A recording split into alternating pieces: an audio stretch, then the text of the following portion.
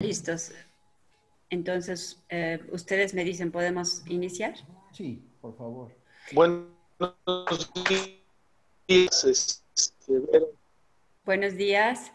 Bueno, pues entonces damos la bienvenida eh, con mucho gusto. Eh, sean bienvenidos todos ustedes a nombre del CONCE a esta cordial conferencia que tendremos esta mañana sobre el TEMEC, el Tratado de Libre Comercio entre México, Estados Unidos y Canadá, o el USMCA por sus siglas en inglés. Y ahora tengo el gusto de dar la palabra al maestro Antar Mendoza, presidente de COMCESUR. Bienvenido. Muchísimas gracias. Señoras y señores, en su libro De animales a dioses, Yuval Noah Harari define el orden imaginado como la única manera en que un gran número de seres humanos pueden cooperar de forma efectiva y lograr una mejor sociedad. Por ello, el orden imaginado solo puede mantenerse si hay grandes segmentos de la población mundial que creen realmente en él. Y en Norteamérica así lo estamos haciendo. Si pudieran subir el volumen, por favor. El autor sostiene que fuera de la imaginación de los seres humanos, no hay naciones, no hay dinero, no hay derechos humanos, no hay leyes, no hay justicia y yo agregaría comercio internacional y mucho menos acuerdos internacionales. Por ello, celebro que el día de hoy estamos reunidos a través del uso de la tecnología para atender esta importante conferencia magistral, denominada Potenciando la región de Norteamérica con el TECMEC, al tiempo que como humanidad estamos enfrentando la pandemia del COVID-19 con sus terribles impactos en términos de vida humana y devastadores impactos económicos alrededor del mundo. El TEMEC, con su entrada a partir del primero de julio de este año, nos permitió en Norteamérica reimaginar y acordar un marco para que con la aplicación, la participación activa de todos nosotros, sigamos consolidando a Norteamérica como una potencia comercial en la geopolítica actual. Agradezco enormemente a nuestros panelistas, al maestro Ken Smith Ramos, a quien admiro profundamente, al licenciado Fernando Ruiz, eh, nuestro director nacional de COMSE, al maestro Fausto López, vicepresidente de COMSE Sur, por compartir con nosotros generosamente sus conocimientos y experiencias en la materia. Don Valentín, con eventos como este, los CONCES regionales y estatales, activos a lo largo y ancho del país, damos seguimiento puntual a sus instrucciones de trabajar todos juntos a nivel nacional, bajo su liderazgo inspirador, aprendiendo de usted y de su enorme amor por México. Como mexicano, señores, para mí un ejemplo a seguir. Señora Secretaria de Desarrollo Económico del Estado de Puebla, Olivia Salomón. Agradezco mucho su liderazgo y el apoyo que en Puebla nos brinda a todos los directivos de empresas y empresarios para poder hacer de nuestra amada Puebla un gran lugar de trabajo y esfuerzo conjunto. Estimada licenciada Alejandra Sánchez Apodaca, subsecretaria de la Secretaría de Desarrollo Económico del Estado de Puebla. Agradezco mucho todo el trabajo que con su amable coordinación estamos haciendo en Puebla en materia de comercio exterior. Estimados presidentes y empresarios de los COMSE regionales y estatales, señoras y señores, sean todos bienvenidos. En el COMSE, que es el Consejo Mexicano de Comercio Exterior, Inversión y Tecnología, llevamos al mundo lo mejor de México y traemos a México lo mejor del mundo. Muchas gracias. Muchas gracias, Santar. Ahora doy la palabra a la secretaria de Economía de Puebla, Olivia Salomón. Adelante. Don Valentín Díez Morodo, lo saludo con todo respeto, presidente del COMSE Nacional. Qué gusto. Es jefe de la negociación técnica del TLK. Fernando Ruiz Duarte, director del COMSE Nacional. Agradezco además la anfitrionía de Antar Mendoza y de Fausto López Aguilar, presidente y vicepresidente del COMSE Sur, así como a Verónica Bravo. Amigas y amigos empresarios que nos acompañan en este encuentro. No nos deleitemos en el valle de la desesperación. Les digo a ustedes hoy, mis amigos, que pese a todas las dificultades y frustraciones del mundo, yo todavía tengo un sueño. Parafraseo estas palabras de Martin Luther King en su mensaje del 28 de agosto de 1963, donde señaló que en los momentos en los que se redactó la Constitución y la Declaración de Independencia de Estados Unidos, se firmaba la promesa de que todos los hombres tenían garantizados los derechos de vida y búsqueda de la felicidad. Hoy, ese anhelo sigue siendo una realidad.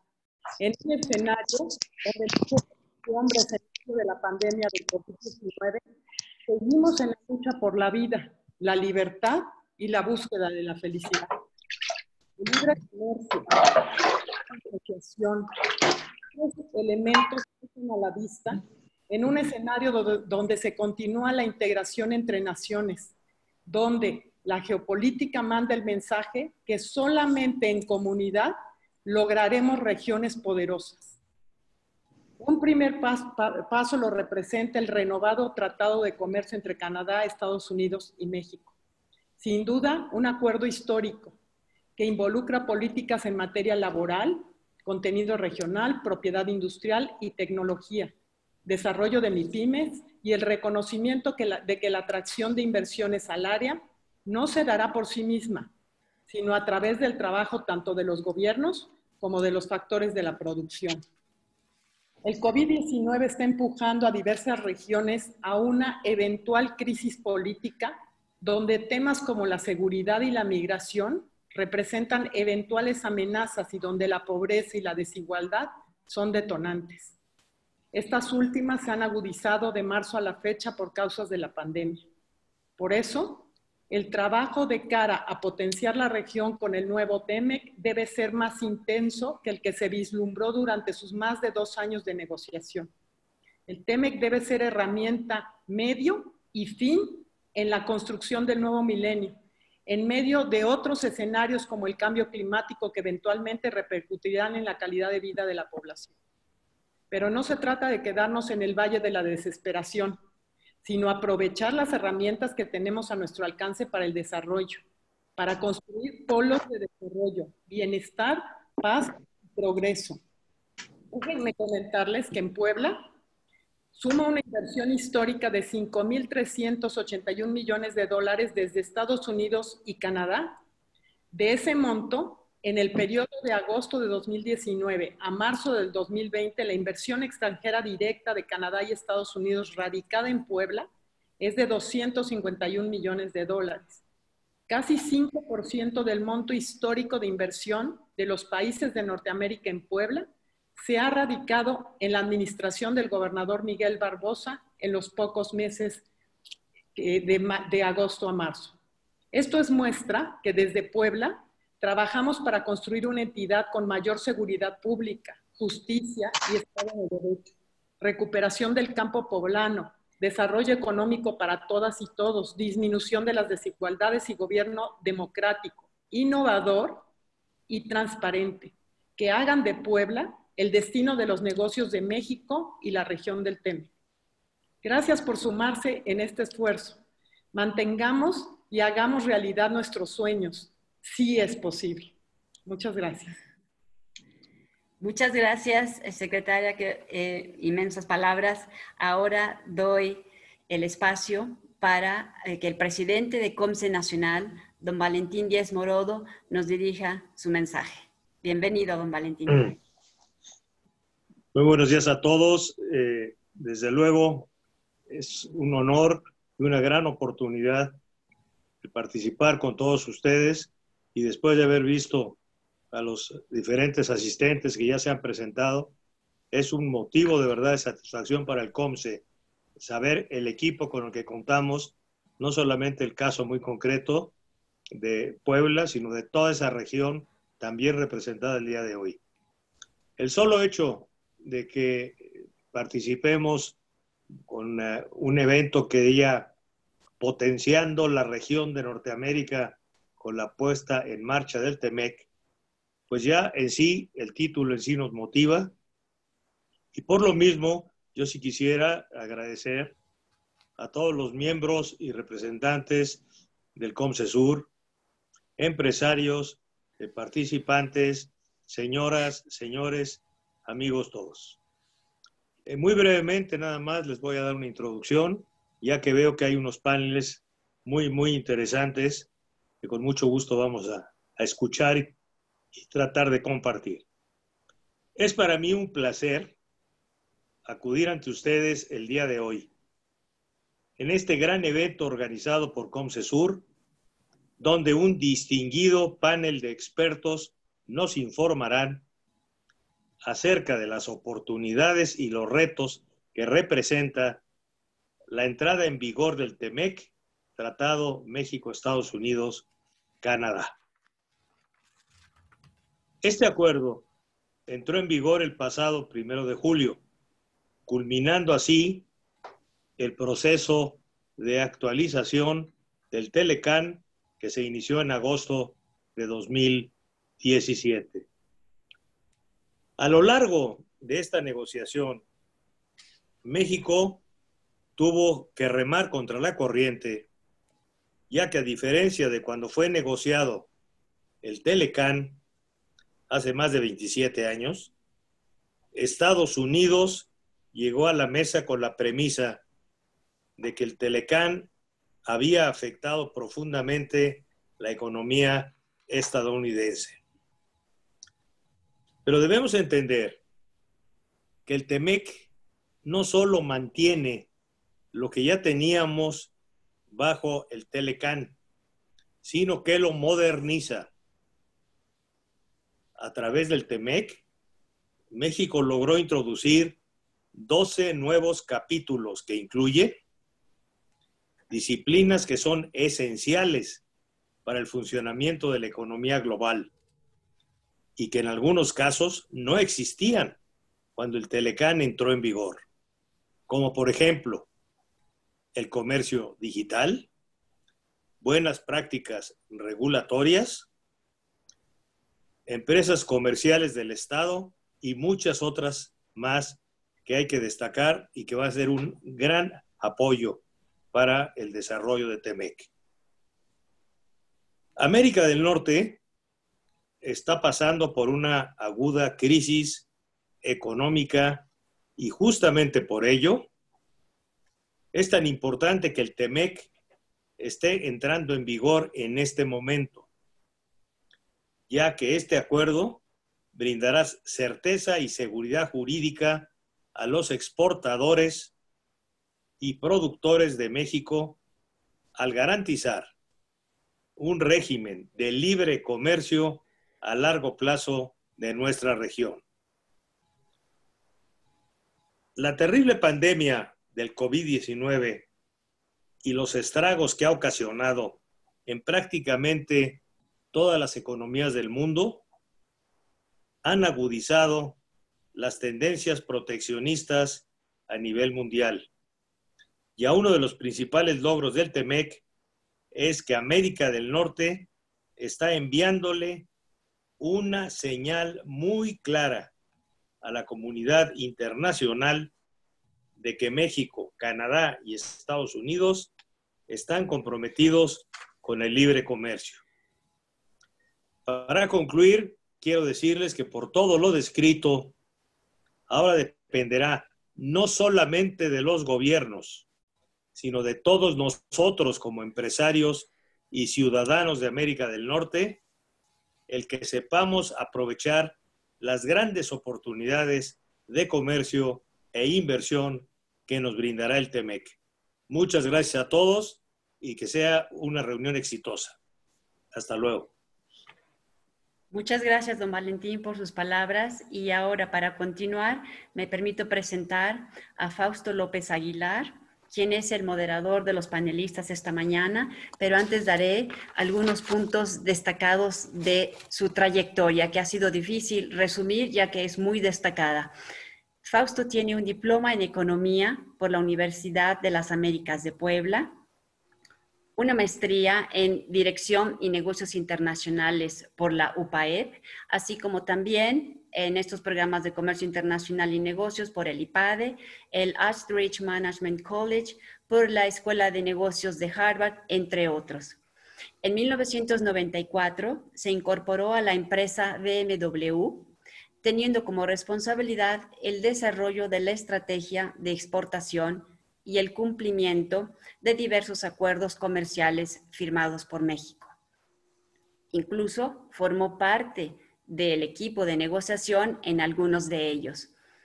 Como gerente de tratados internacionales de BMW, le fue conferida la responsabilidad de certificar a la planta de Puebla para el proyecto o para el programa CityPad, conocido también como OEA, logrando la validación por el gobierno de Estados Unidos por ocho años consecutivos. Obtuvo también la certificación para este mismo eh, programa para la planta de Silao, Guanajuato y para la de Chattanooga en Tennessee, obteniendo el otorgamiento de las mejores prácticas como empresas seguras.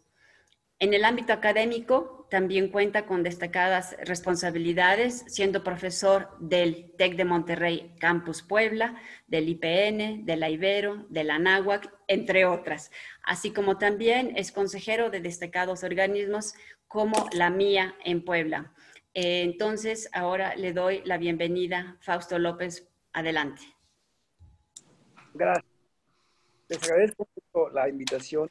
Realmente es un honor el poder moderar esta mesa con dos personalidades que además de ser mis amigos entrañables de muchos años, les profeso un gran admiración y respeto. Y bueno, eh, es un momento muy importante porque como ustedes saben, a partir del 1 de julio comenzamos ya una nueva era en el comercio internacional de México a través de la entrada en vigor de este nuevo acuerdo que es el TEMEC o USMCA. Eh, y bueno, haciendo un poco de retrospectiva, recordando muchas anécdotas que tenemos Ken y un servidor en las mesas de negociación que tuvimos allá en Washington, en Canadá y en la Ciudad de México, pues realmente desde un inicio, como ustedes saben, a partir de que el presidente Trump anuncia su deseo de renegociar el Telecán, mencionando que era un acuerdo que era el peor negociado en la historia de la humanidad y que era el culpable de todos los problemas de Estados Unidos, pues desde el momento que anuncia eso en su campaña, se prende un foco rojo para México en cuanto a nuestra industria, en cuanto al gobierno mexicano, para poder evaluar los efectos que podría tener esta primera amenaza. Y bueno, ahí lo que tuvimos que hacer es hacer un, esquema sobre los posibles variables que iban a ser afectados en, este, en esta situación, sobre todo por el, tema de las inversiones en México, el tema arancelario, el tema laboral, el tema migratorio, el tema de las cadenas de suministro, pero el problema que veíamos más fuerte en ese momento era qué es lo que el señor quería renegociar, qué es lo que quería revisar. Y lo primero que hace es salirse del TPP, cuando Estados Unidos ya había estado años negociando junto con nosotros, Vietnam, Australia, Nueva Zelanda, el CPTPP. Con eso nos dimos cuenta que las amenazas serán cumplidas. Y después viene una guerra de tweets que también hizo estragos en un inicio en México. Y después viene ya el inicio de la negociación, la cual pues tuvo muchas altas y bajas en cuanto a diferentes eventos que ocurrieron. Eh, lo más importante, considero, de esta negociación fue siempre la cercanía que tuvo el, el gobierno mexicano con la industria y el sector privado. Siempre hicimos causa común, hicimos estrategia desde un inicio y se formaron los cuartos de junto, en donde yo tuve la oportunidad de estar en el tema automotriz. Eh, realmente la, la, estrategia que tuvimos que llevar fue muy fuerte y tuvimos que enfrentarnos con muchos problemas en cuanto a lo que fueron las llamadas píldoras envenenadas, que básicamente eran los break deals que nos fueron sacando en los meses que llevamos la negociación, especialmente comenzando ahí por mayo, junio, que fue cuando empezaron a tener los problemas más fuertes. Eh, como miembro del COMSESUR y, y, con el gran honor que tengo de trabajar y colaborar junto con, con el maestro Antar eh, y además este, ser miembro de Volkswagen de México eh, en el tema de libre comercio, pues creo que esta es una oportunidad muy importante, muy, muy buena y, y, sobre todo excelente para poder escuchar estas dos personalidades que tienen muchísima experiencia y que seguramente nos van a dar muchísimo, muchísimo feedback en cuanto a lo que se viene ahora. ya estamos iniciando un tratado, ya estamos cumpliendo con las reglas de origen que han sido más exigentes del TEMEC y creo que en el momento que viene tenemos que estar muy preparados para enfrentar también los retos que nos trae este nuevo acuerdo. Sin más, sin más, eh, voy a empezar a, dar una referencia de, de, Ken, de Ken Smith. Eh, actualmente Ken es socio de Agon, él es ahora un asesor experto en temas de libre comercio. Eh, se enfoca mucho a apoyar a clientes que necesitan elaborar estrategias, y no solamente en el TEMEC, también en estrategias en la, en la red de libre comercio mexicana, como es el TPP, el Telecuem, eh, el, el AC55, etc. En su, en su carrera, Ken ha tenido mucha trayectoria bastante interesante y larga en el gobierno mexicano. Eh, mucho enfocado a negociaciones internacionales, ha sido parte integral de, equipos de negociación. Eh, también estuvo en el Telecán, que eso era muy importante, el background que Ken nos dio en las negociaciones. al ser nuestro jefe de negociación, Ken siempre tuvo la responsabilidad de la implementación de la estrategia. Y la estrategia, yo les puedo decir como miembro del cuarto de junto, fue excelente y siempre enfocada a un beneficio mutuo. Eh, es un experto en reglas de origen porque también entró a todas las mesas de negociación reglas de origen, negoció también cartas paralelas, que son aquellas cartas que son compromisos que hicieron los gobiernos en el, en el marco del TEMEC. Y bueno, eh, realmente como representante en la Secretaría de Economía, también laboró en la Embajada de México en Washington, estuvo ahí del 2013 al 2017 y ahí defendió mucho nuestros intereses.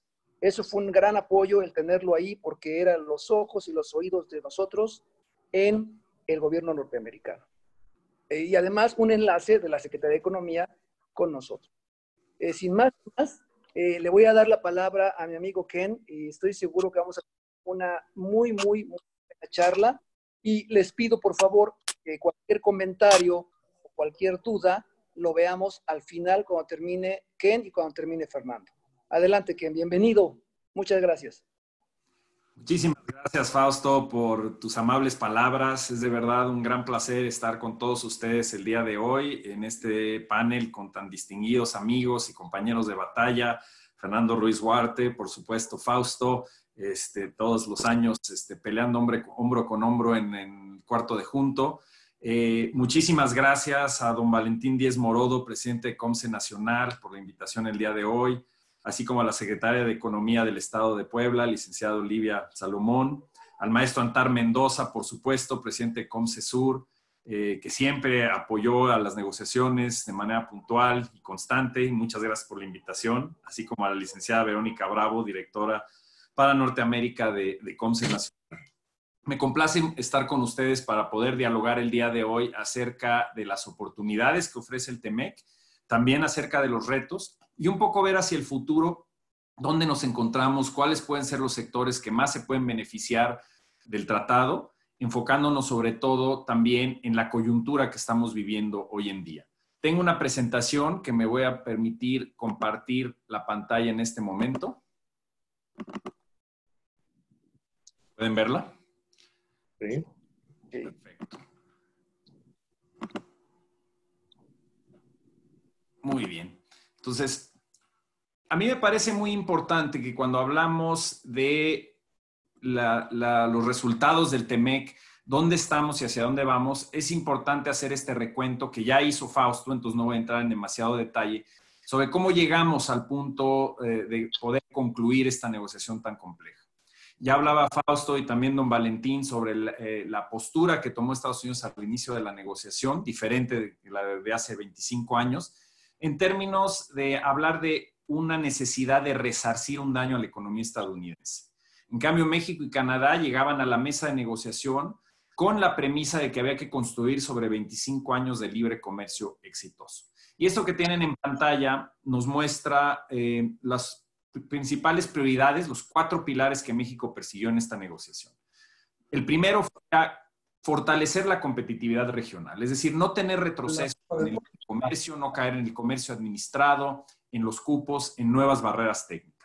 El segundo, por supuesto, era modernizar el acuerdo, como ya se señaló, es decir, actualizar nuestro tratado, hacerlo nuevamente el acuerdo eh, más relevante y más moderno en el mundo, como lo fue en su momento el Telecán en 1994, y en ese sentido insertar disciplinas que son esenciales para la economía hoy en día. Un pilar fundamental también era hacer del comercio un instrumento más responsable e incluyente y entonces incluir una serie de medidas de corte social que no se tomaban en cuenta de la misma manera hace 30 años cuando se negociaban tratados de libre comercio, pero que resultan fundamentales para el funcionamiento de la economía de Norteamérica y a nivel mundial también son de gran relevancia. Y por último, pero al igual de importante que los primeros tres pilares, era establecer una certidumbre para el comercio y la inversión es decir, un terreno parejo, con reglas transparentes, con libre competencia y sobre todo manteniendo y fortaleciendo los mecanismos de solución de controversias del tratado. ¿Cómo llegamos a donde llegamos? ¿Qué es lo que logramos? Yo lo divido en tres categorías principalmente. En efecto, como mencionaba don Valentín, logramos insertar 12 capítulos que modernizan el tratado. Es decir, en disciplinas que no existían antes en el tratado, que fueron evolucionando a lo largo del tiempo en los últimos 25 años, que no existían en el caso como el comercio digital cuando se negoció el Telecán, pero que son hoy en día eh, aspectos clave del funcionamiento de la economía global. Eh, también establecimos medidas, por ejemplo, para reconocer las modificaciones importantes, el avance tecnológico en tecnologías de la información y comprometernos los tres países de América del Norte a establecer un régimen de libre competencia en telecomunicaciones que tiene un impacto directo en la competitividad. También hay medidas para combatir la corrupción. Esto lo impulsó el cuarto de junto, el sector privado mexicano, con el objeto de apuntalar los esfuerzos que estamos haciendo a nivel nacional en esta materia. Hay un capítulo de competitividad que establece un paraguas a través del cual se pueden establecer eh, medidas de cooperación en materia bilateral tanto entre gobiernos y como alianzas público-privadas. Y muy importante señalar un capítulo de pymes para ayudar a las pymes a entender lo, que se establece en el tratado, ayudarlos a generar oferta exportable y a internacionalizarse y aprovechar los tratados de libre comercio que tiene México en vigor. Esta no es una lista exhaustiva, hablaba yo ya de 12 capítulos nuevos, pero nos da una idea de cómo logramos modernizar el tratado. En paralelo a estos avances, digamos, en los capítulos de modernización, logramos llegar a acuerdos en los temas más difíciles. Pongo tres categorías aquí y voy a elaborar un poco sobre reglas de origen en un minuto. Pero es muy importante entender que a pesar de la oposición que tenía Estados Unidos a mantener los mecanismos de controversias, porque en opinión de Estados Unidos, con el argumento de America First o América Primero, argumentaban que los paneles extraterritoriales imparciales, pero que no se llevaban a cabo bajo el control de Estados Unidos, atentaban en contra de la soberanía de Estados Unidos, lo cual era falso en todos los sentidos, eh, pero esa era la postura de Estados Unidos y querían eliminarlo. Logramos a través de la negociación entre gobiernos, pero también el gran empuje del sector privado mexicano, trabajando con sus contrapartes en Estados Unidos y Canadá, logramos mantener los mecanismos de solución de disputas y eso es fundamental. También quitamos de la mesa un elemento de control político excesivo que, buscaba el presidente Trump a través de una cláusula de extinción con mecanismos de muerte súbita que establecían que a los cinco años del nuevo tratado, a menos de que hubiera un acuerdo explícito entre los tres jefes de Estado de Norteamérica, el tratado concluiría, se acabaría.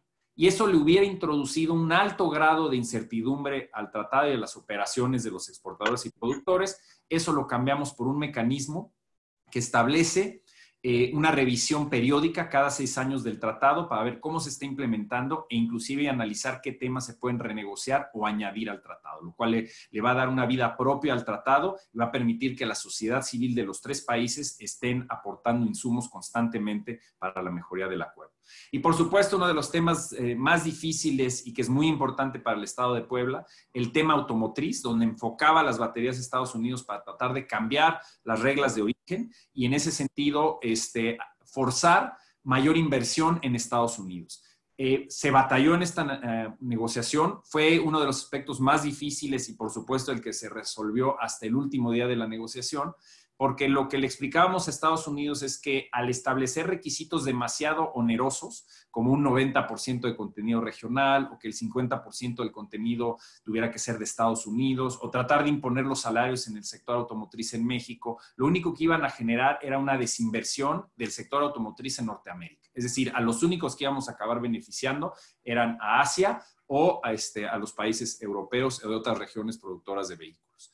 Voy a entrar en detalles cuando, cuando hablemos en un segundo del tema de reglas de origen del sector automotriz. El tercer gran rubro aquí, que es muy importante en cualquier tratado, en cualquier negociación, es tan importante ver qué quedó en el tratado como lo que no quedó. Es decir, el haber logrado la eliminación de propuestas que buscaban restringir las exportaciones de México en sus sectores tradicionalmente exitosos al interior del Telecan, es decir, en el sector automotriz, textil, agropecuario, buscando medidas relacionadas con el déficit, es decir, dependiendo del nivel del déficit, Estados Unidos buscaba que se, la posibilidad de imponer este, medidas proteccionistas, es decir, este, obstaculizar las exportaciones de México. Todo eso lo quitamos de la mesa. No hay un capítulo de metas de reducción del déficit comercial y logramos eliminar de la mesa medidas como estacionalidad agrícola, que hubiera restringido la posibilidad de nuestros productos frescos de seguir entrando a Estados Unidos, en materia del sector textil y también acceso en compras de gobierno. Entonces, todo eso lo logramos eliminar y entonces nos da un tratado balanceado que respete el libre comercio, modernice el acuerdo y mantiene las estructuras de transparencia y certeza jurídica.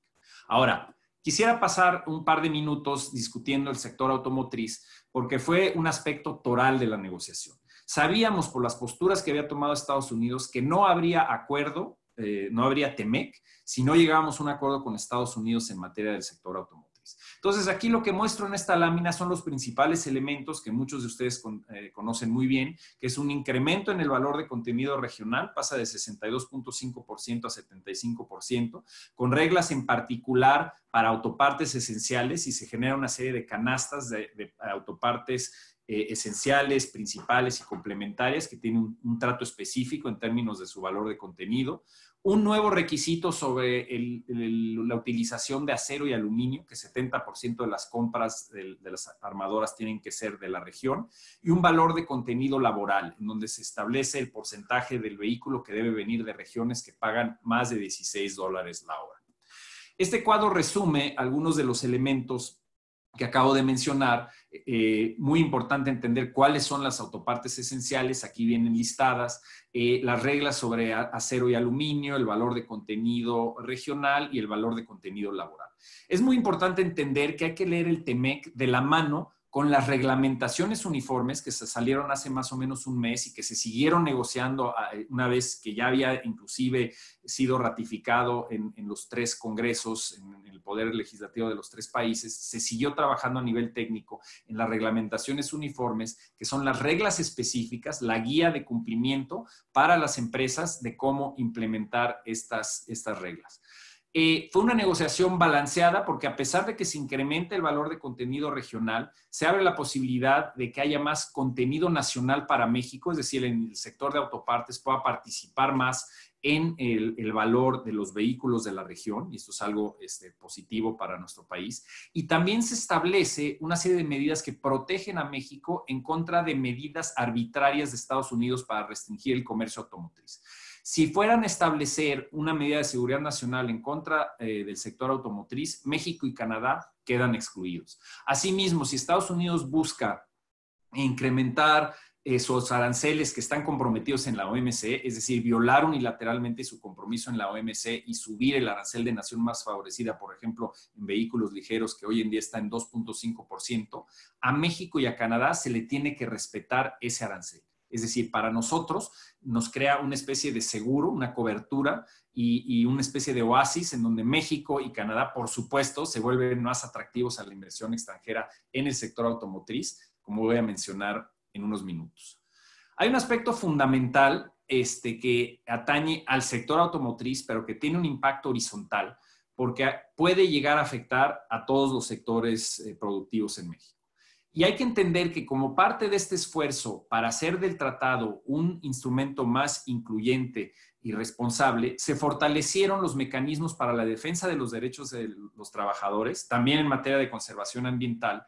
Y esto se hizo eh, trayéndonos los que eran acuerdos paralelos del Telecan en materia laboral y ambiental y incorporarlos como un aspecto central, como capítulos independientes dentro del propio tratado y sujeto a los mismos mecanismos de solución de controversias. Entonces, ¿qué significa esto? Que las nuevas disciplinas, por ejemplo, en materia eh, laboral que ven ustedes en la pantalla, ahora tienen dientes. Están sujetos a solución de controversias. Se añadieron nuevas protecciones en materia de trabajadores migrantes, combatir, por supuesto, el trabajo forzoso e infantil, la discriminación de género y la violencia en el trabajo. Pero también se añade un apartado muy importante sobre democracia sindical, que era una asignatura pendiente en nuestro país, y que establece reglas claras sobre el grado de transparencia que tienen que tener los contratos colectivos de trabajo, la elección de los líderes sindicales y el cuidado que tienen que tener las empresas a nivel de planta de asegurar que se promueva la democracia sindical. Y todo esto está sujeto a solución de controversias. Entonces, es muy importante que las empresas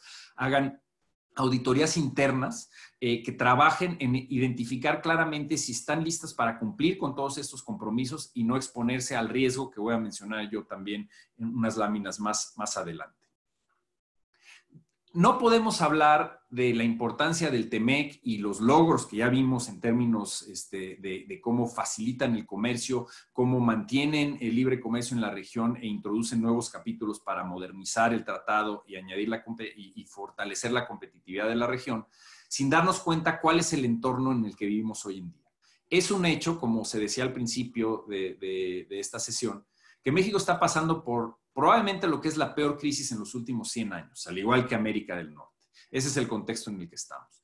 Y eso ha agudizado las presiones proteccionistas en diversas partes del mundo, incluyendo Estados Unidos. Aquí lo que ven en pantalla son declaraciones del asesor del presidente Trump, Peter Navarro, con un corte proteccionista, en donde señala que la lección del COVID es que Estados Unidos no puede depender de cadenas globales, debe tratar de ser autosuficiente. Sabemos que eso es imposible desde el punto de vista económico, pero es una postura peligrosa y este, que está permeando en Estados Unidos.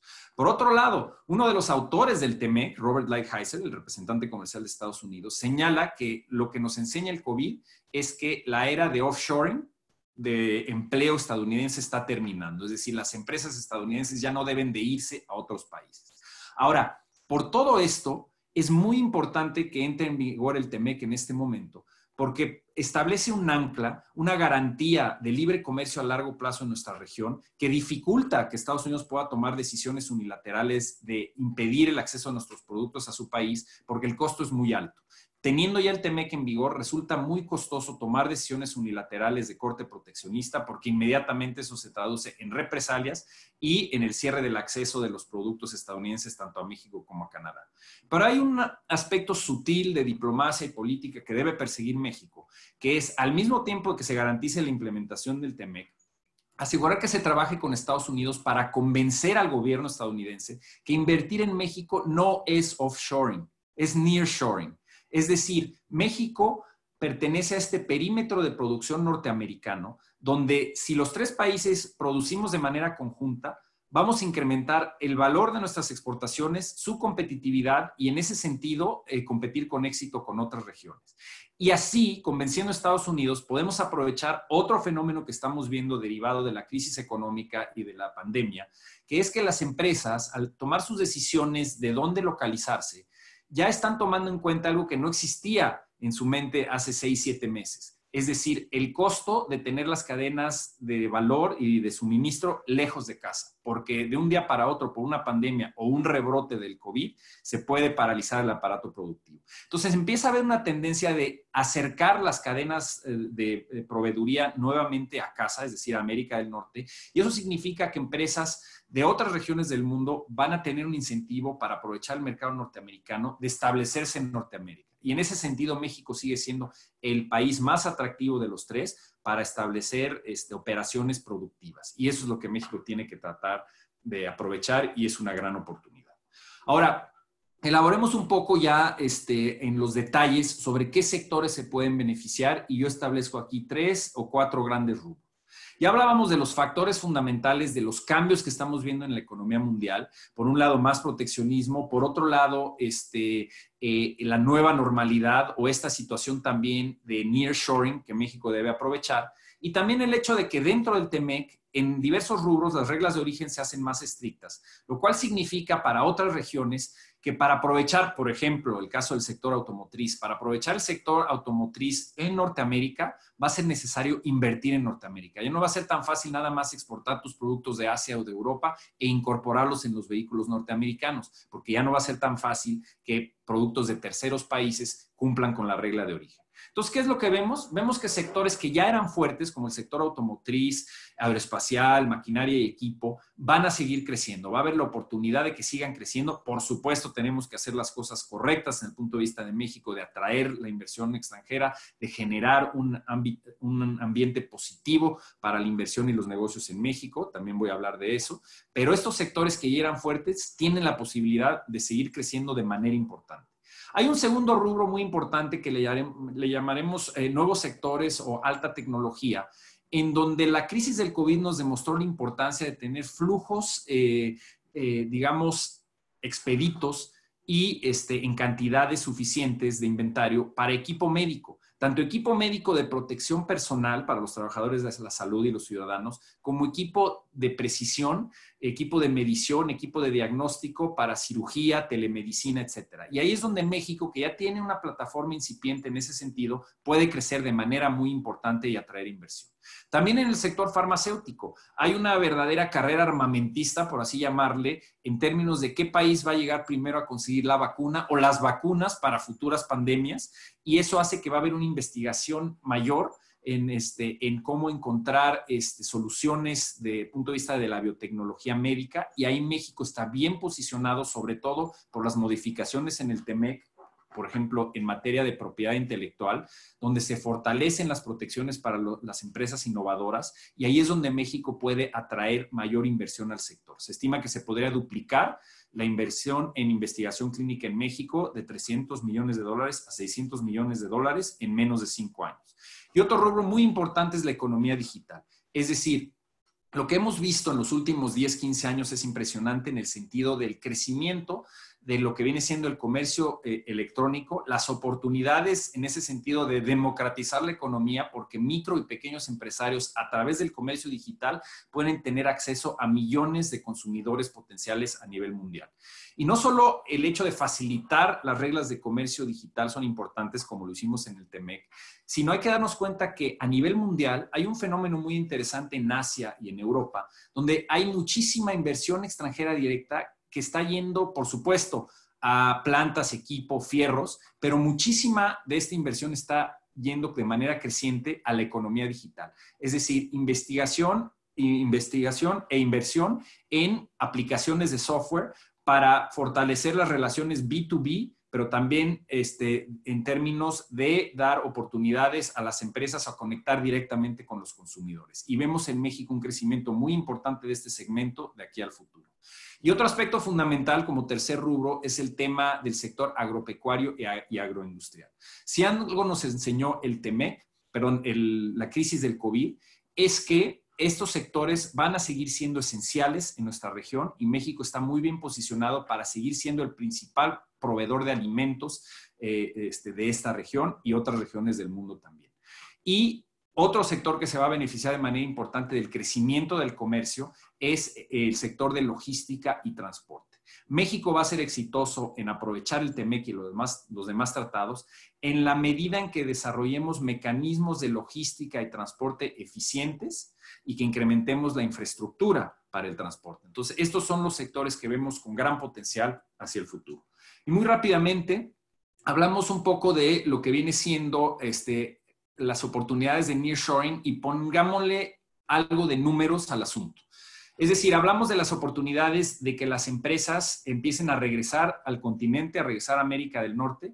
Eh, y además de esto, tenemos una situación que no podemos ignorar, que es la guerra comercial entre Estados Unidos y China. Esta guerra comercial nos permitió el año pasado consolidarnos como el primer socio comercial de Estados Unidos porque empezamos a sustituir a China en aquellos productos donde tenían ya aranceles prohibitivos ante Estados Unidos y nos consolidamos como el primer socio. Aquí la UNCTAD hizo eh, un análisis muy interesante en donde mide el grado de integración de componentes chinos en diversos sectores. Este índice que se presenta en la mano derecha de la pantalla nos enseña el grado de integración, es decir, mientras se acerque a uno, el índice quiere decir que hay, que hay mayor presencia o integración de componentes chinos. Y vemos eh, instrumentos de precisión, maquinaria, sector automotriz, equipo de comunicación y telecomunicaciones. Y lo que hacen en la UNTAD es hacer un análisis de qué sucede cuando hay una caída simplemente del 2% en la penetración de productos y componentes chinos en estos sectores, debido a la situación global, debido a la, guerra comercial con Estados Unidos, y el resultado se enseña en el cuadro de la izquierda donde para el sector automotriz, por el simple hecho que 2% de los componentes chinos dejen de entrar a Estados Unidos o al mercado mundial, se generan oportunidades eh, de más de 7 mil millones de dólares para productos mexicanos para sustituir a los chinos o de otras partes del mundo. Por eso estamos compitiendo con otras partes del mundo para sustituir a China en el mercado estadounidense. Pero vean estas cifras, en equipo de, de comunicación, más de 5 mil millones, maquinaria eléctrica, casi 5 mil millones, y así se puede hacer el análisis para todos los sectores. Esto significa que con la coyuntura derivada del COVID-19, es decir, el nearshoring que se está ah, acelerando, y la guerra comercial en Estados Unidos y China, México tiene una gran oportunidad de posicionarse y ser atractivo para la inversión extranjera que nos permite entrar en estos sectores y muchos más de, manera creciente hacia el futuro. Ahora, nos gusta presentar eh, esta lámina porque cuando analizamos las oportunidades que existen, ya hablábamos de la oportunidad de, incrementar el comercio en América del Norte, pero también atraer más inversión. Eh, un análisis que hemos hecho aquí en Agon, en nuestro despacho, es establecer una guía de cumplimiento del TEMEC. Es un instrumento ágil que en lugar de obligar a las empresas a revisar las más de 1.500 páginas del tratado, tratamos de resumir seis o siete categorías principales que cada empresa, independientemente de su sector, debe analizar. Y hablaba yo del capítulo laboral, un capítulo con disciplinas que ahora tienen dientes, que pueden llevar a casos de solución de controversias. En materia específica sobre el tema que ya mencioné sobre democracia sindical, hay un mecanismo de respuesta rápida que puede llevar a una solución de un panel en cuestión de meses y este, en ese sentido, eh, las sanciones se van directamente al nivel de planta. Es decir, este, se analiza la situación de democracia sindical en una planta en particular y si se determina que hay una violación recurrente a las leyes laborales mexicanas que confieren una ventaja indebida desde el punto de vista de competitividad en comercio e inversión, puede haber sanciones que van desde sanciones monetarias hasta prohibir las exportaciones de dicha planta. Entonces es muy importante que se preparen las empresas para ver si están listas para cumplir con todos estos elementos. Es algo que nosotros estamos ayudando en términos de apoyar a hacer este análisis de auditoría interna, no solo en la parte laboral, sino, en los demás temas que listamos aquí. Hablamos un poco de reglas de origen. Es fundamental que cada empresa en su sector entienda qué cambios hubo en materias de reglas de origen y cómo se van a implementar. También en materia de procedimientos aduaneros y facilitación comercial, hubo cambios importantes en el tratado que facilitan el comercio, pero hay que entender la nueva dinámica de los procedimientos aduaneros porque pueden darle grandes beneficios en términos de reducir costos a las empresas y para que sigan, aquellas que ya están operando en América del Norte, que sigan beneficiándose de acceso preferencial a Estados Unidos y Canadá. Ya hablaba yo también del comercio digital y la importancia de entender cómo se va a facilitar el comercio digital en, nuestra región, entender las nuevas reglas y ayudar a las pymes a capacitarse para aprovechar el comercio digital. Y aquellas empresas que estén ya sea en el sector de producción energética o de servicios a la industria energética, entender que la reforma energética está consolidada en el TEMEC. A pesar de algunas declaraciones que se han escuchado por ahí, por parte del gobierno. La reforma energética está consolidada en el TEMEC, así como está consolidada en el, Acuerdo Transpacífico y nuestro tratado con la Unión Europea. Entonces, es una guía de cumplimiento relativamente fácil y, este, podemos apoyarlos en ese sentido. Hay que hablar también de las oportunidades, ya me voy a, la parte final eh, del TEMEC, junto con los riesgos, es decir, Va a haber grandes oportunidades de comercio e inversión, pero la coyuntura en la que estamos hoy en día no la podemos ignorar y es el hecho de que hay un año electoral en Estados Unidos, elecciones en noviembre, una creciente tendencia proteccionista, hay esfuerzos nuevamente para establecer restricciones en materia del comercio agropecuario de México Estados Unidos, eh, existe el riesgo que de aquí a noviembre se inicien casos laborales en contra de México, no necesariamente casos justificados, sino simplemente un esfuerzo político para que la administración Trump quede bien con sus sindicatos con mira a las elecciones de noviembre. Siempre está la volatilidad del presidente Trump en materia de regresar las amenazas de incrementos unilaterales de aranceles Claro que, como ya lo mencionaba yo, cada vez se vuelve más costoso para el presidente Trump tomar estas decisiones, por lo menos en contra de sus socios de América del Norte, por el hecho de que ya tenemos en vigor el TEMEC. Y también tenemos un problema este, en materia de la OMC, donde Estados Unidos está haciendo esfuerzos para minar el mecanismo de apelación de solución de disputas. No es un problema que enfrentaríamos de manera inmediata, pero en caso de que no logremos resolver alguna disputa en el TEMEC, es muy importante, como lo hicimos a lo largo de la vida del Telecan, tener este acceso a la Organización Mundial de Comercio. Por último, ya las últimas eh, dos láminas, todo esto que he presentado eh, es muy importante para el país en términos de las oportunidades que va a generar el TEMEC y la política comercial de México, pero todo esto tiene que ir de la mano con un programa de eh, políticas públicas en México que favorezcan la inversión. Es decir, tiene que haber congruencias entre las políticas que toma el gobierno en México y los compromisos que se han plasmado en el TEMEC. La administración López Obrador ha señalado que el TEMEC va a ser un gran instrumento para el crecimiento económico de México y para ayudarnos a salir de la crisis, lo cual es cierto. No habrá un impacto inmediato porque tenemos una crisis económica eh, muy grave en este momento. Yo creo que el, impacto positivo lo vamos a empezar a sentir hacia finales de este año, principios del año siguiente. Pero al mismo tiempo, no podemos tener en México políticas que vayan en contra de lo que está plasmado en el TEMEC y nuestros demás tratados, es decir, políticas que vayan en contra de las energías renovables, este, consultas públicas que cancelen eh, inversiones multimillonarias de empresas este, en el norte del país, en fin, ese tipo de políticas tenemos que asegurar que sean favorables a la inversión y respeten nuestro tratado. También se tiene que garantizar la independencia de los reguladores. Este es un aspecto muy importante en todo país que haya mantenido un crecimiento sostenido a lo largo eh, de décadas, eh, gozan de la independencia de reguladores que establecen un contrapeso, garantizan la eliminación de monopolios, garantizan que no haya una injerencia política en la operación este, de la economía, y eso es muy importante, tanto la COFESE, el Instituto Federal de Telecomunicaciones, la Comisión Reguladora de Energía y muchos otros organismos deben respetarse. Por supuesto, suena obvio el tercer elemento, que es implementar correctamente el TEMEC y está relacionado con el primer punto. Para gozar de acceso irrestricto a Estados Unidos y Canadá, nosotros tenemos que asegurarnos que cumplimos en México. Y también tenemos que incrementar el grado de cooperación entre el gobierno y sector productivo del país no solo para aprovechar el TEMEC, pero para salir de la crisis económica en la que estamos en este momento. Y así todos estos factores tomados de manera conjunta reducen el riesgo país y nos hace más atractivo a la inversión. Por último, ¿qué debe hacer México en el mundo? Ya hablábamos de la necesidad de implementar correctamente el TEMEC en México, pero también tomar una posición firme ante Estados Unidos, sobre todo en año electoral, para que ellos mismos no implementen eh, políticas proteccionistas. Esto es muy importante.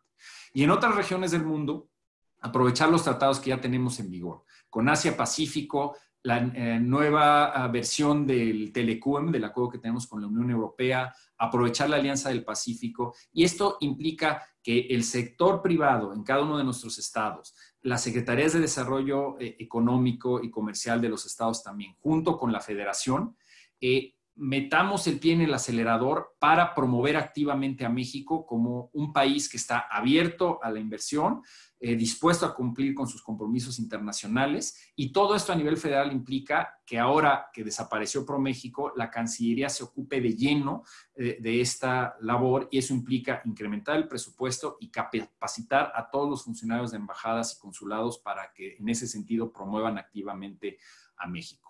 Estoy convencido que si hacemos las cosas bien desde el punto de vista doméstico, desde el punto de vista de políticas públicas, implementación del TEMEC y promoción activa en el extranjero, vamos a seguir siendo uno de los principales países en materia de comercio internacional y además de ello vamos a contribuir al desarrollo económico de nuestro país. Les agradezco muchísimo su tiempo. Aquí están mis datos y estoy a sus órdenes en un momento para contestar sus preguntas.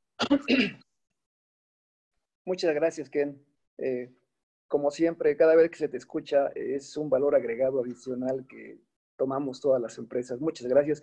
Creo que algo importante que vale la pena resaltar de lo que Ken nos acaba de, de mencionar y que es un mensaje para todos es aprovechar. ¿Cómo podemos aprovechar el tema? Y, básicamente son tres temas que me dejaste muy importantes, Ken. Uno es la atracción de la inversión, muy importante. Eh, poner un focus en la economía digital, que también se ha vuelto ahora primordial. Y tercero, eh, también ponerle un énfasis a el reforzamiento en los sectores esenciales. Como tú mencionaste, el sector agrícola, el alimentario, la logística, el transporte, es básico. Pero todo esto se logra siempre y cuando las empresas cumplamos. O sea, cumplamos con las reglas de origen y con todo lo que el tratado nos exige. Y la mejor manera de cumplirlo es conocerlo y si no lo conocemos o creemos que es difícil de aprender por lo complicado, entonces asesorarnos con profesionales que saben, como Ken, los cuales pueden ayudar a las empresas a que cumplan con esto. Así que muchas gracias, Ken, por tu, participación. Y bueno, pasamos ahora con otro, otra personalidad, eh, el licenciado Fernando Ruiz Guarte. Eh, la verdad es que este, yo, eh, se los digo, llevo más de 20 años en el COMSE y les puedo decir honestamente que el COMSE es lo que es por el apoyo y dinamismo que el licenciado Valentín Díez y, y el licenciado Fernando Ruiz le han dado a este, a este organismo. Siempre nos han ayudado, siempre nos han apoyado, han tenido siempre la iniciativa de, de estar un paso adelante con la industria nacional para apoyarnos en cuanto sea necesario en temas de comercio internacional, inversión. No me ha llegado. Ah, lo mandó al grupo. Fernando les voy a contar un poco de su, de su trayectoria. Fernando es economista, bien colega de Ken y colega mío. Tiene estudios en AD1 del IPADE, eh, también en comercialización internacional en la OEA. Y bueno, la experiencia es muy, muy, muy, muy grande, ¿no? Su experiencia ha sido a todo nivel. Eh, a nivel eh, directivo, en comercialización internacional, en operaciones de comercio exterior, en temas de transporte, en temas de logística, en terminales intermodales. Eh, él tiene experiencia ya desde el año 73, imagínense, en organismos empresariales. Les voy a mencionar algunos, sería SEMAI, Canacintra, Concamín, eh, Canaco, eh, eh Camintram, ANIER y COMSE. Y, bueno, aquí es importante también mencionar que Fernando también ha participado como miembro de los cuartos de junto. Ha escrito fue el famoso G3, que era el, Tratado de Libre Comercio entre Colombia, Venezuela y México, y que luego se volvió G2 porque se salió Venezuela.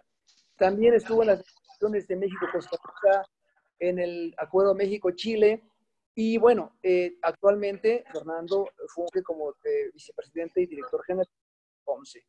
Eh, le vamos a dar la bienvenida y Fernando, pues muchas gracias también por aceptar esta invitación y estamos muy atentos a lo que nos tengas que decir. Adelante. Ah, al contrario, este, yo agradezco mucho a Comcesur, a Antar Mendoza, a José, eh, la oportunidad que nos dan para este tipo de eventos, sumarlo como un evento de COMCES en general, no solo COMCESUR, sino todos los miembros de COMCE que quisieran afiliarse. Eh, y me da mucho gusto ver que hay presidentes y empresarios de otros estados de la República, con lo cual pues está dando esta, este trabajo en equipo que tanto nos ha solicitado nuestro presidente, don Valentín Díez Moro. Sobre el tema, sobre esta videoconferencia, pues ya me deja un poco que hablar, ya lo que mencionó mi presidente, don Valentín Díez Morodo, y luego Kent con esa amplia eh, ponencia que acaba de darnos, el conocimiento que tiene, porque además, como bien lo, lo comentaste, Fausto, pues él estuvo en el Telecán, yo también participé en esas, en esas negociaciones en cuarto de junto, y, y, esa experiencia y luego la operación durante 25 años del Telecán, pues le dio un conocimiento muy particular para poder hacer una buena negociación del TEMEC, a pesar, y, hay que decirlo, de la intención del presidente Trump por buscar que este nuevo acuerdo ayudara a promover la inversión en los Estados Unidos, este, y más que en México. Y, y un claro ejemplo de ello, pues fue el tema de las reglas de origen que ahorita rápidamente trataremos. Pero antes de entrar a eso, yo quisiera dar una muy rápida revisada de lo que es el los resultados del Telecán, en donde después de, de, varios años, México eh, se convirtió en el principal socio comercial de los Estados Unidos, como ya se mencionó aquí, como el tercer socio de Canadá y el principal socio comercial Estados Unidos de México y el cuarto socio comercial Canadá de México. Eh, el comercio exterior de México vale la pena mencionar que llegó a, en, 2019, este, en México, Telecan a 601 mil millones de dólares y llegamos a exportaciones por 385 mil millones de dólares e importaciones por 216 mil, lo que nos da un claro superávit comercial que ha, sido muy importante en nuestro desarrollo. Eh, entre los principales productos que, que venimos comercializando con la región, pues está como número uno las autopartes, eh, como número dos están las computadoras, las, eh, autopartes, los, los, vehículos de transporte de mercancías, eh, los productos aislados para la electricidad, por mencionar los principales, ¿no?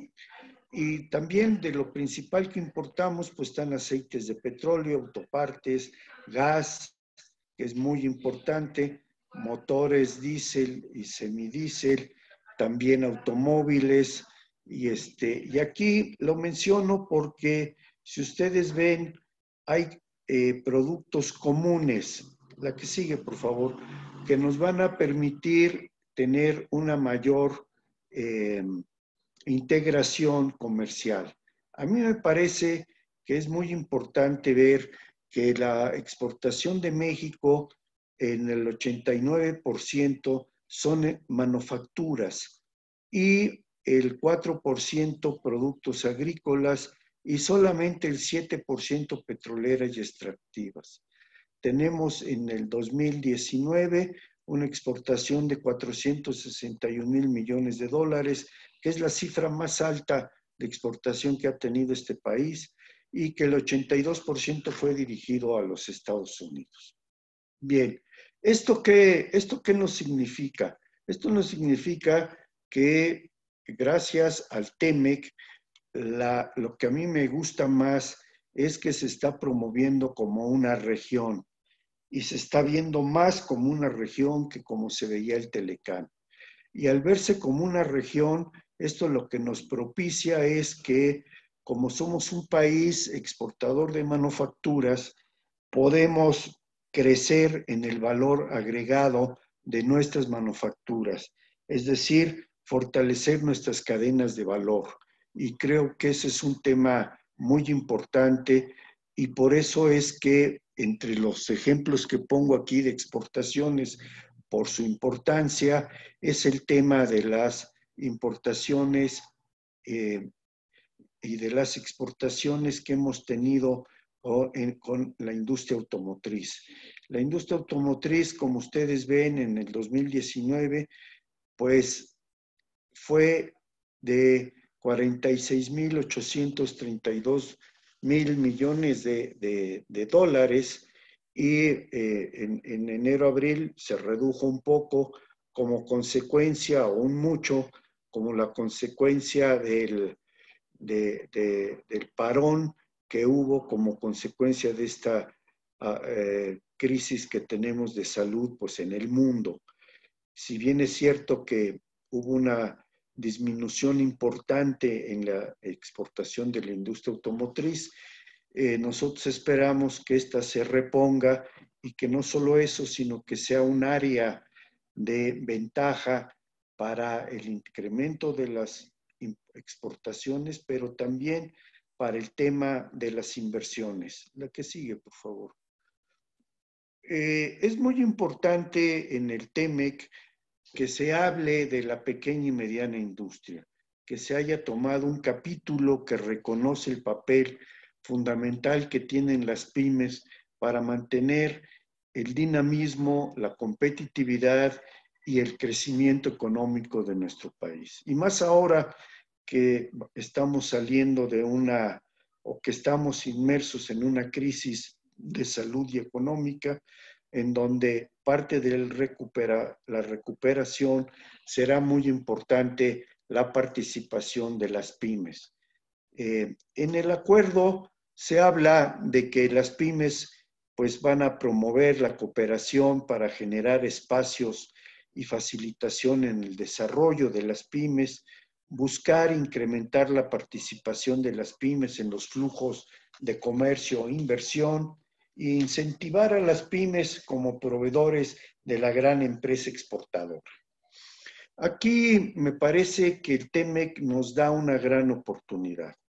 El movimiento de las reglas de origen nos pueden permitir fortalecer nuestras cadenas de valor y fortalecer la inversión de otros países como Asia y Europa hacia México, porque ya la, crisis comercial entre Estados Unidos y China, como lo mencionó ya Kent, la crisis sanitaria que está en este momento, el tema político en los Estados Unidos, demuestran, como ya también se mencionó aquí, pues demuestran que las cadenas de valor, entre más cerca estén, más seguras son y mejor podrán operar. De tal manera que eso nos puede traer una inversión de estos países proveedores hoy de los Estados Unidos y de México con productos intermedios que después exportamos a Estados Unidos, pues se ve muy claramente la necesidad de que estén en cualquiera de estos tres países, Estados Unidos, Canadá o México. Nosotros pensamos que México tiene ventajas sobre Estados Unidos y Canadá, y, pero lo tenemos que demostrar eh, con hechos y tenemos que tener una política que permita que venga esa inversión a México, que sea previsible, que no haya cambios en las reglas del juego y que, le dé seguridad al inversionista. Y aquí las pymes van a jugar un papel muy importante, porque bien pueden ser alianzas estratégicas que hagan con las inversiones de Asia o de Europa, para hablar de dos grandes regiones, o bien ser proveedores de algunas manufacturas, artículos o servicios para esta nueva inversión que venga a México y acompañarlos por el conocimiento que ya tenemos en todos los temas de logística y de transporte hacia el mercado de los Estados Unidos y Canadá. Entonces yo ahí veo, yo ahí veo una gran oportunidad para el crecimiento de la inversión y el crecimiento de las pymes. Hoy vamos a ver el valor de las pymes en las exportaciones de, los tres países del TEMEC, Estados Unidos pues tiene un valor que representa el 14% del total, México tiene el 5% y Canadá el 28%. Entonces tenemos que ver qué está haciendo bien Canadá para hacer lo mismo, porque realmente el porcentaje del valor exportado de las pymes, 5%, es preocupante y demuestra la poca participación que tiene este sector en el comercio exterior, porque en las importaciones, si bien es un poco más, pero pues llega al 7%, contra Estados Unidos 10 y Canadá nuevamente con un 23%.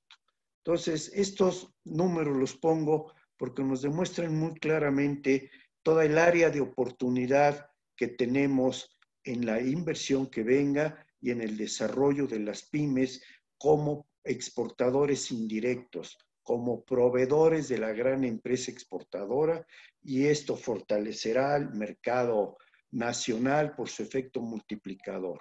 de tal manera que tenemos que trabajar en hacer a nuestras pymes proveedoras, exportadoras indirectas y también en exportadoras directas. La, que sigue, por favor.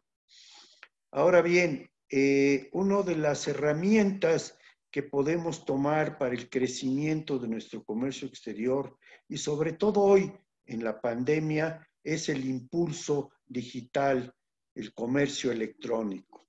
Y esto está en el capítulo 19 del TEMEC, ya también se mencionó aquí, pero yo quisiera decir que esto viene a fortalecer mucho la posibilidad de que las pymes puedan estar en el comercio exterior. El crecimiento del e-commerce, el fortalecimiento del e-commerce, la utilización y sobre todo en estos momentos del comercio electrónico, viene a apoyar y a facilitar la exportación directa de las pymes, porque pueden a través de estos mecanismos ofertar sus productos tener un canal de distribución de sus productos, de promoción de sus productos y también de comercialización a través de la utilización de las empresas de mensajería, en donde una pequeña empresa puede mandar pequeños pedidos a través de estas empresas de mensajería, utilizando eh, eh, el apoyo y la facilidad que nos da la legislación en los de minimis que espero Estados Unidos haya mantenido en, los 800 dólares que tenía. Por ahí es una duda que tengo, que, que ojalá me puedas aclarar, pero si es así, hay que aprovecharlo, porque podemos hacer pedidos hasta de 800 dólares por de utilizando las empresas de paquetería y le resolvemos a través del e-commerce a las pequeñas y medianas empresas la promoción, el canal de distribución y el transporte. Y esto facilita mucho en que puedan empezar a exportar e ir creciendo y no quedarse ahí, además de la posibilidad de fortalecer sus lazos con sus distintos proveedores. Y esto yo creo que puede ser algo que debemos de utilizar. Por otro lado, me, parece, sí, me, parece que, para la facilitación comercial viene a apoyar la competitividad. Eh, nosotros como México, independientemente del acuerdo, tenemos que fortalecer nuestra competitividad, tenemos que seguir siendo competitivos, tenemos que seguir diversificando nuestras exportaciones, y aquí estoy hablando de diversificarlas en el mercado de los Estados Unidos. Está muy cargada la exportación de México en unos cuantos productos. Entonces tenemos que fortalecer, diversificar nuestros productos de exportación y también diversificar nuestro mercado dentro de Estados Unidos. Hay estados en los Estados Unidos que nuestra presencia no es tan importante como en Texas o en California, para poner dos ejemplos. Ahí también tenemos que trabajar, diversificar productos, diversificar este, eh, en los estados de Estados Unidos, mercados, y diversificar la participación o fortalecer la participación de las pymes. Y en esto, la, facilitación comercial y aduanera nos puede ayudar mucho porque eh, vamos a trabajar en, por ejemplo, en acceso al comercio, eh, pero lo más importante son los despachos conjuntos. Vamos a tener la posibilidad de tener despachos conjuntos, en donde vamos, en lugar de tener un despacho aduanero en los Estados Unidos y otro en México, o uno en México y luego otro, otro en Estados Unidos, vamos a tener un solo despacho y esto nos va a reducir costos en las operaciones aduaneras y nos va a reducir tiempos por los almacenajes y por las maniobras, además de los tiempos para hacer la nacionalización. Vamos a tener también medidas de facilitación comercial como las ventanillas únicas que nos van a poder permitir comunicarnos más y poder hacer, repito, las operaciones más rápidas, más eficientes, los cruces más eficientes y, vamos a reducir los gastos de aduanas y de, de transporte, además de, de transparentar, transparentar los procesos administrativos que nos permitan operar más eficientemente. Yo creo que tenemos que tomar en cuenta esta facilitación aduanera y comercial y verla como eso, como una facilitación y sobre todo evitar prácticas proteccionistas que, tenemos que tener que combatir porque pues están creciendo no solo en México, en el mundo, y el organismo que nos ayuda a, a eliminar estas prácticas, pues anda en problemas, que es OMC, hay una crisis en OMC y también vamos a tener que eh, eh, operar o participar en esos temas. Eh, creo que la siguiente, por favor, que es simplemente para darles las gracias y decirles que COMSE, a través de COMSE Nacional y de los COMSES estatales y de las áreas internacionales, eh, es su mejor aliado en negocios internacionales para llevar al mundo lo mejor de México y traer a México lo mejor del mundo. Muchísimas gracias. Gracias, Fernando. Eh, creo que este, acusaciones muy importantes. Yo me voy a básicamente cinco. Una, eh, mencionaste las pymes, eso es muy importante. De hecho, a mis alumnos siempre les digo que revisen ese capítulo porque va a proveer muchos beneficios a aquellas medianas y pequeñas empresas que decidan iniciar un negocio bajo el concepto de USMCA y creo que eso no hay que dejarlo de lado. Lo mismo el tema de comercio electrónico que también Ken ya mencionó. Hablarse de diversificar y eso es muy importante. Eso es, es muy, muy importante para el tema de poder tener también mercados alternativos el enfoque a estados también es muy importante porque en Estados Unidos debemos de buscar también los nichos de oportunidad. No es lo mismo el, nicho que tenga Texas que el que tenga Tennessee, por ejemplo, que tenga Florida. Y finalmente la facilitación aduanera, que es un capítulo especial que está en el USMCA, el cual nos va a dar también muchísimos beneficios en cuanto a darnos esa, esa posibilidad de agilizar trámites aduaneros y evitar tener complicaciones en el cruce de mercancías. Finalmente, Fer, nada más eh, eh, preguntabas del tema de, del de minimis. Eh, aquí, bueno, Ken no me dejará mentir o, me corregirá, pero teníamos cuotas cada país, Estados Unidos 800 dólares para exportar ventas en online, Canadá tenía 16 dólares canadienses y México contaba con una cuota de 50 dólares. Bajo el USMCA lo que quedó fue Estados Unidos mantiene la cuota de 800 dólares americanos Canadá tiene ahora la cuota de 117, al igual que México. Eso fue lo que se aumentó en cuanto al, al de minimis para ventas online, que es un máximo monto para vender productos libres de aranceles. Es una buena noticia que se mantuviera Estados Unidos los 800 dólares. Sí. Muy bien. Eh, gracias, Fer. Y vamos a abrir ahora, por favor, el auditorio para poder escuchar preguntas dirigidas a nuestros panelistas, así que por favor le voy a pedir a Josefina que me apoye para poder abrir micrófonos a las personas que están eh, alzando la mano para poder iniciar este, este panel de preguntas, por favor. Gracias.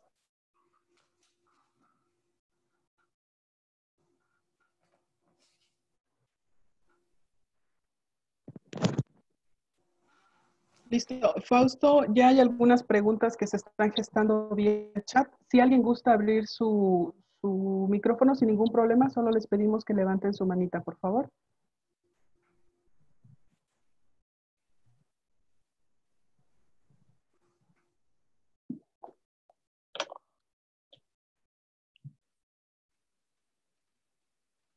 Listo. Heriberto Cortés.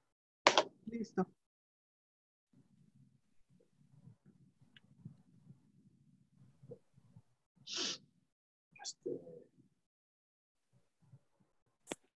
Muy buenos días, don, muy buenos días, don Valentín.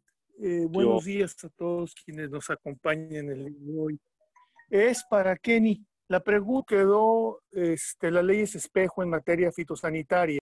Eh, porque una cosa es el tratado en materia comercial y el otro es la obediencia a la ley como en México lo hay en la Ley Federal de Sanidad Vegetal y de Sanidad Animal, ¿cómo quedó siempre el manejo de las, de las espejo en cuanto a la obediencia, este, sobre todo por la importación de Estados Unidos de carne mexicana este, y de frescos, en lo que son las, tanto las reglas de operación, cómo vamos a poder eh, tener de la FDA ese respaldo para nuestros productos mexicanos, Kenny. Muchas gracias y gracias por la invitación. Muchísimas gracias, Alberto. Eh, mira, uno de los temas principales que intentamos hacer en la negociación, como tenemos prácticamente todos los productos dentro del eh, comercio de México, Estados Unidos, principalmente en cero aranceles en el sector agropecuario, el enfoque fue cómo facilitar el comercio. Ahí entran también todas las este, medidas de facilitación comercial en la frontera. Pero un capítulo muy importante, como bien señalas, es todo lo relativo a medidas sanitarias y fitosanitarias. Ahí lo que se trató de hacer es este, introducir medidas y compromisos para facilitar el, comercio a través de la transparencia, es decir, eh, establecer compromisos aún más estrictos de lo que se tenía en TEMEC en materia del compromiso de que todas las reglamentaciones que se establezcan, obviamente eh, respetando la soberanía y lo establecido en las propias leyes de los tres países, pero que cada regulación en materia sanitaria y sanitaria que simplemente sea basada en ciencia, no sea utilizado como un mecanismo este, para establecer este, barreras comerciales y además eh, se establecen medidas más claras para tratar de darle prioridad a las solicitudes, por ejemplo, de análisis de riesgo de productos de la región versus otras regiones del mundo. ¿Qué es lo que pasaba con anterioridad? Tú sabes que gracias al Telecan se logró robar, se logró este, eliminar este, un, un, obstáculo de más de 84 años al aguacate mexicano en Estados Unidos, pero tomó mucho tiempo, de todas maneras, este, el lograr la eliminación de este obstáculo. Lo mismo en materia, por ejemplo, de exportación de, de cerdo mexicano, el tema de fiebre porcina clásica tardó más de 15 años en resolverse. Entonces, México insistió mucho en la negociación del TEMEC que esto debía cambiar, que teníamos que tener plazos más cortos, es decir, reducir los tramos burocráticos en la parte de análisis de riesgo, es decir, no comprometer el análisis técnico y científico, eso tiene que llevarse a cabo de conformidad con lo que dicta cada, cada país y siguiendo, este, digamos, criterios científicos, pero en todos los tramos burocráticos que se pueda recortar, asegurar que tarden menos dar la autorización sanitaria y se establecen mecanismos también muy importantes en materia de regionalización y equivalencia. Equivalencia en el sentido de ir avanzando cada vez más hacia una convergencia regulatoria en materia sanitaria y fitosanitaria, que no tengamos estándares tan diferentes en México, Estados Unidos y Canadá.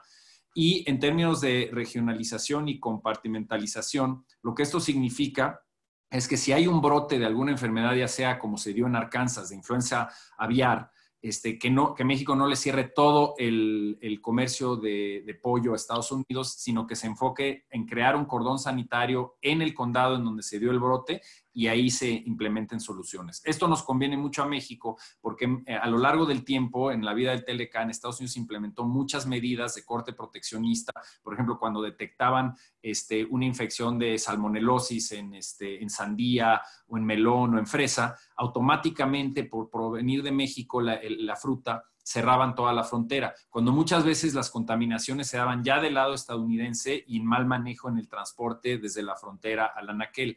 Todo eso se está mejorando a través del TEMEC, estableciendo reglas claras para que no cierres este, el comercio a la frontera en un producto en particular cuando se detecte un problema. Y por supuesto, todo esto está sujeto a solución de controversias. Entonces, estas amenazas de Estados Unidos de, hacer más inspecciones en frontera a los productos mexicanos, eh, nuevamente está saliendo el tema de que si van a prohibir la importación de eh, ganado en pie, cosas que ya habíamos sufrido en el pasado. Eh, existen los mecanismos en, el TEMEC aún más que en el Telecan para defendernos y eso es un aspecto positivo para, para balancear la relación con Estados Unidos y asegurar que el comercio agropecuario siga avanzando.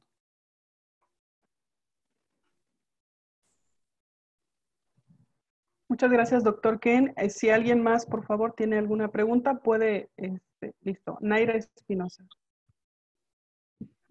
Sí, muchas gracias. También dirigido al doctor Ken.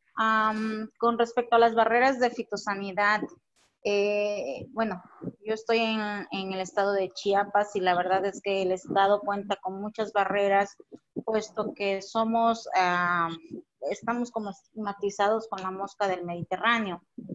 Ahora, ah, hay una, un punto muy importante con respecto al tema que se hizo con esto, con la ley FISMA. Eso también nos obstaculiza un poquito. ¿Y qué hace el gobierno con respecto al apoyo y no quiero decir que esto es responsabilidad del gobierno, pero ¿qué está haciendo el gobierno con apoyar a las empresas o a los este, productores y exportadores con la con eh, la implementación de la ley FISMA, que también eso nos pone muchas más barreras de las que ya teníamos aquí en esta parte de la, de, del estado de Chiapas. Sí, yo diría, hay, hay dos elementos aquí. El tema de la, mosca mediterránea es un tema que durante años, inclusive décadas, este, la Zagarpa a través de Senacica trabajaba y tenían el presupuesto para desarrollar, eh, por ejemplo, plantas en el sur, sureste del país, eh, literalmente plantas para producir, como usted sabe, este, moscas estériles que permitían ir eliminando este, la mosca mediterránea, mosca de la fruta y, otro tipo de plagas que afectan mucho a las regiones tropicales y al sur sureste de nuestro país. Esto había tenido un éxito muy importante en las últimas, dirías yo, este, en los últimos dos sexenios eh, sin embargo, ese es un tema que está enfrentándose Nacica hoy en día. Cuando hablaba de los apoyos, este, se suspendió, por ejemplo, el presupuesto para apoyar a estas plantas que desarrollan la capacidad de generar este, insectos estériles, que a lo largo del tiempo lo que sucede es que van eliminando las poblaciones de los insectos nocivos. Entonces, ese es un tema muy importante. Sabemos que a nivel del CNA están trabajando con el secretario Villalobos en la Zagarpa para tratar de recuperar, digamos, la posibilidad de que estos mecanismos de defensa que tenía en vigor el Senacica, en particular en lo referente a frutas y hortalizas, que se pueda recuperar ese presupuesto, porque una cosa es tener austeridad y otra cosa es este, hacer eh, recortes en aspectos básicos para la, sanidad vegetal y animal. Entonces, ese es un tema que se tiene que trabajar. Y lo mismo sucede con los apoyos a las empresas para que tengan claro este, los diversos ordenamientos jurídicos o regulaciones de Estados Unidos, Canadá o cualquier otro socio para proporcionar asesoría este, eh, a, las empresas. Yo recomendaría verlo, por supuesto, con la Secretaría de Desarrollo Agropecuario del Estado, pero también en particular en los aspectos de cooperación, de cómo tener más información y cómo capacitarse sobre qué les piden al entrar a Estados Unidos, trabajar con Senacica y también la Coordinación General de Asuntos Internacionales eh, de la SAGARPA es un área que este, mucha gente no conoce. Yo estuve ahí, por eso se lo puedo comentar. Este, proporciona mucha cooperación en términos de capacitación y apoyar a los empresarios que necesitan ayuda en temas de cooperación técnica. Muchas gracias. Perfecto. Eh, Nora Ambris también tiene una pregunta. Si puedes abrir micrófono, Nora.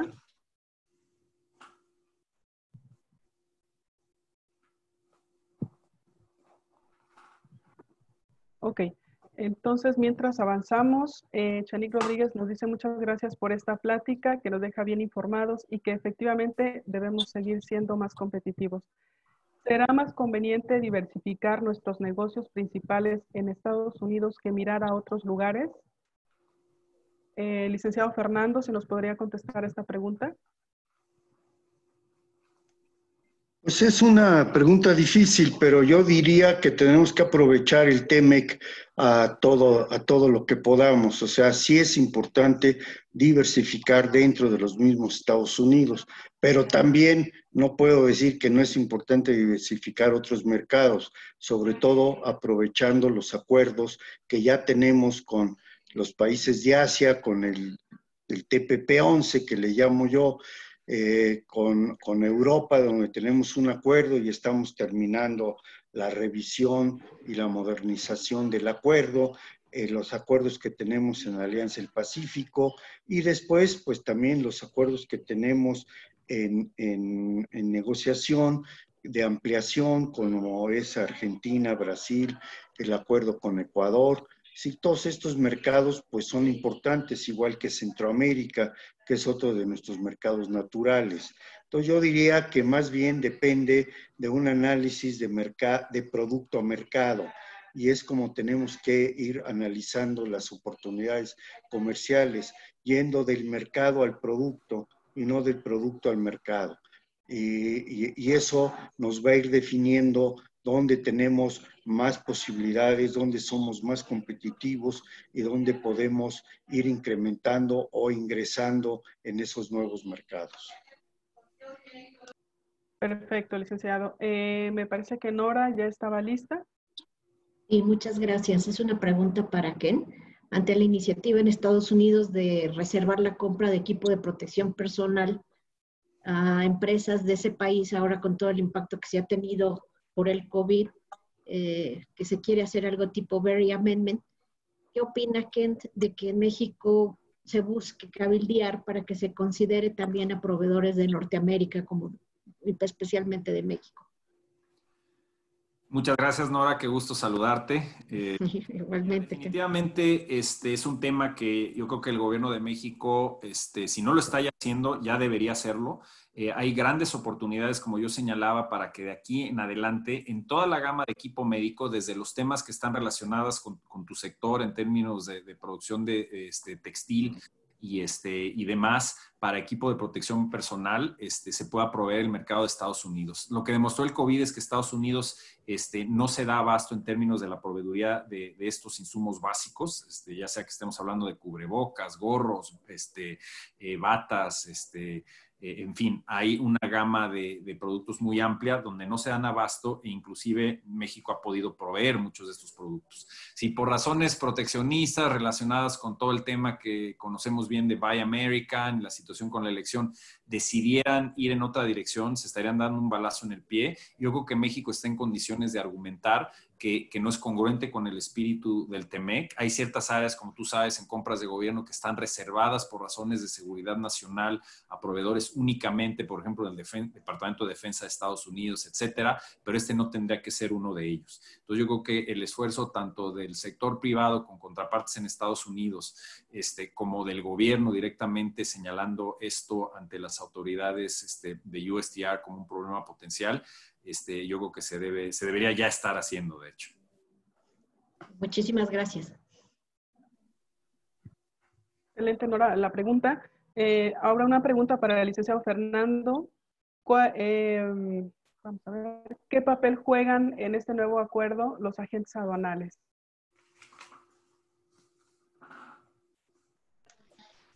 Bueno, no, no solo en este acuerdo, desde el Telecan, y tenemos que estar claros que esta es una continuación del Telecan. Realmente en todo lo que es la parte arancelaria es una verdadera continuación del Telecan. Hay algunos cambios en reglas de origen, hay algunos cambios en la facilitación aduanera, pero esto ya había empezado antes de, que el TEMEC entrara en vigor. Desde el Telecan se han venido eh, realizando despachos conjuntos, se ha venido fortaleciendo las facilitaciones a través de los programas en Estados Unidos del CityPad y en México del programa OEA, en donde las empresas que participan en estos programas eh, tienen una menor revisión en las aduanas, tanto mexicana como la de los Estados Unidos, y permiten un, un tráfico más eh, eficiente, más competitivo. Y aquí la participación de la gente aduanal es muy importante porque es la que realiza el despacho aduanero y la que puede recomendar a los empresarios pues que se incorporen a programas como el, eh, operador económico autorizado, como el de eh, utilizar o realizar operaciones eh, de despacho conjunto, el, analizar la operación misma y buscar que esté toda la documentación que se requiera para hacer un despacho aduanal eficiente. Y eso es un análisis que tienen que hacer y tienen que orientar y capacitar a sus empresarios para que una vez que envíen el producto se aseguren de que están enviando toda la documentación necesaria y en este caso apoyarlos en la parte de certificados de origen. Hoy los certificados de origen eh, este, realmente eh, las autoridades mexicanas y americanas van a estar revisando que se cumplan las reglas de origen y que realmente el certificado sea eso, sea una certificación de que se está cumpliendo con la regla de origen. Y ahí es muy importante, como ya también lo mencionó Kent, que cada empresa revise cuál es la regla de origen que le corresponde y analizarla. Y creo que la gente aduanal puede ayudarlos en esa revisión. También nosotros en COMSE estamos haciendo certificaciones de las reglas de origen y con mucho gusto podemos apoyarlos. Gracias. Bueno, eh, debido a que cuestiones de tiempo vamos a tener ya que cerrar el evento. La verdad es que podría dar para mucho tiempo más, pero pues hay que respetar también los horarios. Entonces, pues no me queda más que a nombre de mi presidente, Antar Mendoza, eh, agradecer primeramente a nuestro presidente nacional, don Valentín Díez, a secretaria eh, Olivia Salomón en Puebla y, nuestros excelentes panelistas, esta oportunidad que nos dieron para poder expresar todo su sentir y conocimientos relativos a este nuevo acuerdo. Estoy seguro que el COMSESUR, como lo ha hecho desde que comenzó la negociación, seguirá promocionando eventos y entrenamientos a los diferentes sectores que estén interesados en tomar recursos de reglas de origen, seguimiento laboral, acuerdos paralelos, etcétera, que puedan ayudarles a enriquecerse más en su cumplimiento bajo este nuevo acuerdo. Les agradezco muchísimo esta excelente oportunidad de poder escuchar. Gracias a todas las personas que atendieron este seminario y por favor, eh, no nos quedemos aquí. Eh, yo creo que hay que darle todavía un forward y darle más, más oportunidad a que se puedan escuchar sus excelentes palabras de conocimiento en cuanto a la materia. Gracias a todos y que tengan muy buena tarde. Muchas gracias. Gracias, hasta luego. Gracias a gracias todos. A Fer, gracias, gracias Felicidades. Gracias a todos. Gracias, don Valentín. Gracias, don Valentín. Gracias, secretaria. Hasta luego. Hasta luego. Muchas gracias a todos. Muchas gracias, Pedro. Muchas gracias, Conce. Gracias a todos por participar. Gracias.